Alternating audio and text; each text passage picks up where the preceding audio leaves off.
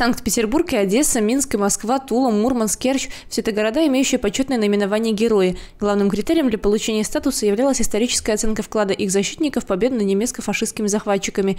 Их название увековечено на площади церемониала в Брестской крепости Героя в знак памяти о подвиге тысяч солдат армии Советского Союза, в которую входили представители более 30 национальностей. Сегодня потомки героев трагических сороковых стараются приложить максимум усилий для сохранения истории на малой родине. Например, юные жители Бурятии предложили проект по созданию мемориального мемориального комплекса «Города-герои». За помощью в реализации они обратились к администрации Брестской гимназии номер 2 и депутатам. Инициатором участия в данном проекте является Хоринская средняя общеобразовательная школа номер 2.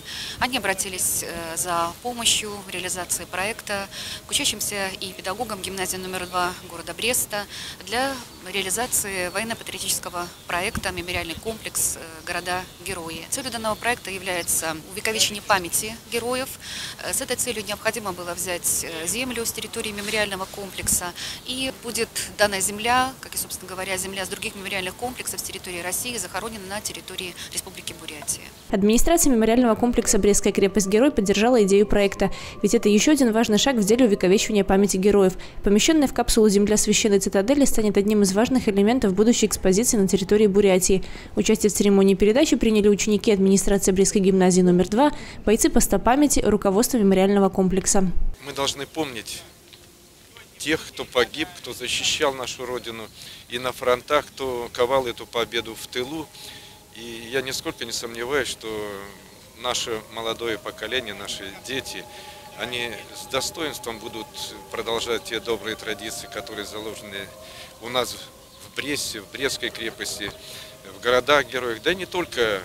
Надо помнить те, ту трагедию, те жертвы, которые принесли наши народы в годы Великой Отечественной войны.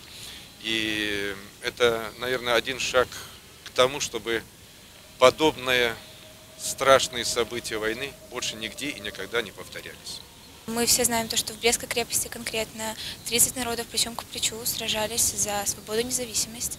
И сейчас мы снова встречаемся, э, организуем такие мероприятия, связываемся с городами-побратимами, со странами, с самыми отдаленными уголками России, просто э, для того, чтобы отдать дань уважения и чести тем, кто сражались за наше светлое будущее. А возложенные к вечному огню цветы станут еще одним свидетельством о том, что память жива в сердцах людей. По разным данным, около 35 миллионов советских воинов приняли участие на фронтах Великой Отечественной войны. Из них свыше полутора миллионов белорусы, порядка 120 тысяч уроженцы Бурят-Монгольской республики. И миссия по увековечиванию памяти будет продолжена. Замечательно, что такие инициативы исходят от э, учреждений образования, от э, самих учащихся. И задача депутатского корпуса и нас, взрослых, всячески поддерживать эти благие инициативы, содействовать их э, реализации для сохранения общей многонациональной памяти о войне.